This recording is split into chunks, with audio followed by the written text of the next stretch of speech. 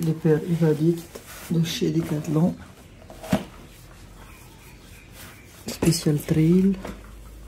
On les rôde pour... euh, en, en prévision de la Xterra 25 km du 24 mai euh, du vendredi 24 mai à Montréal. Et c'est Riva pour l'entraînement matinal.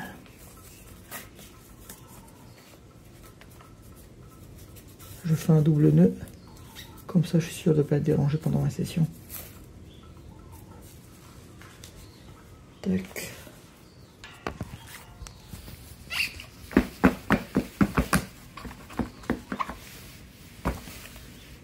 Let's go. Et TikTok et Rana. Ça y est, le- les examens de Reoteti sont terminés, donc je vais enfin pouvoir me focus pleinement sur euh, l'entraînement, etc.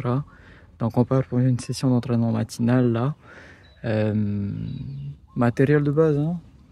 des barres d'ornisienne, short, chaussures de trail que je dois rôder pour, euh, bah, pour le Xterra euh, 25 km du 24 mai. Un sac avec une gourde et euh, une gourde d'un litre seulement. Ma petite gourde pour boire pendant que je cours. Et, euh, j'ai juste lesté un peu le sac avec des poids supplémentaires pour appuyer le, l'entraînement pour le rendre un peu plus dur. Quoi. Euh, donc voilà, let's go. En pleine montée, carrément essoufflé. C'est vrai, c'est vrai. C'est vrai, presque au bout là. Faut être moral, hein. Faut faire ça le matin.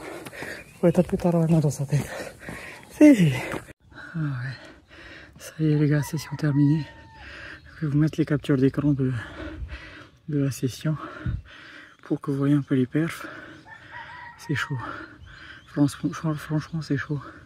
Ceux qui font le trail depuis déjà des années, qui font des grandes distances comme les 50 ou les 100 km, ils ont beaucoup de mérite parce que ça demande beaucoup de rigueur d'entraînement et une hygiène de vie qui est quand même exemplaire que je n'ai pas encore, que je vais essayer au mieux possible de m'impliquer pendant pendant deux mois, moi qui suis fan des coca, des, des burgers, des, des des conneries comme ça.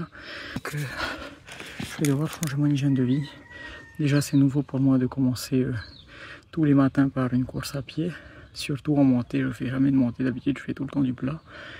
Donc voilà, c'est c'est pas évident, mais faut se battre dans la vie. En fin de compte, je me dis euh, trop souvent, euh, on se donne des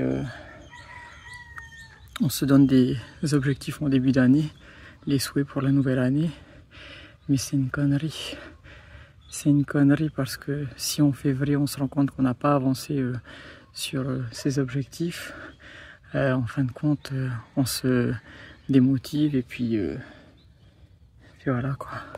Donc moi je pense que il n'y a, a pas de bon moment pour, pour se souhaiter un renouveau dans sa vie au fur et à mesure que tu avances, tu dois te fixer un nouvel objectif parce que l'être humain, il est naturellement feignant et il cherche naturellement le confort. Donc je pense que c'est bien de, sauter d'un défi à l'autre. Je ne le faisais pas auparavant et je commence à le voir. C'est-à-dire que là, cette année, par exemple, mon premier objectif, c'était de, finaliser euh, mon certificat universitaire première année de Reutaichi. Et, la satisfaction est tellement énorme maintenant que je l'ai fini depuis lundi, j'ai fini les derniers examens.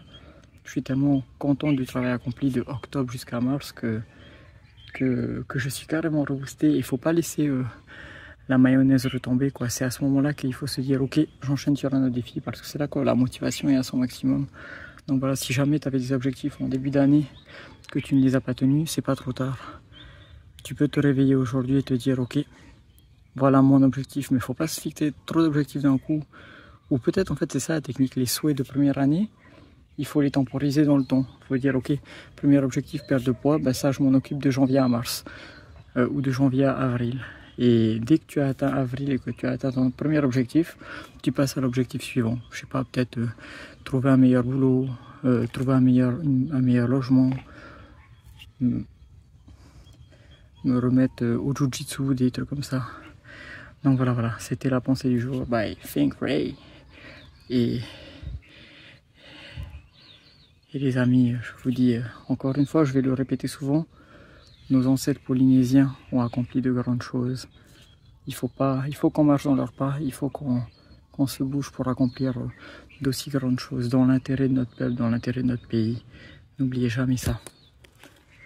Les menaces sont tout le temps présentes, que ce soit la pollution, les changements climatiques, les guerres, la violence, euh, la maltraitance. Et il ne tient qu'à nous d'en avoir conscience et de se battre pour pas que ça arrive, pour pas que nos belles valeurs polynésiennes disparaissent. L'accueil chaleureux, la générosité, l'empathie, le tauturura, tout ça, c'est carrément important. Ne soyons pas dénaturés par euh, tout ce qui arrive chez nous.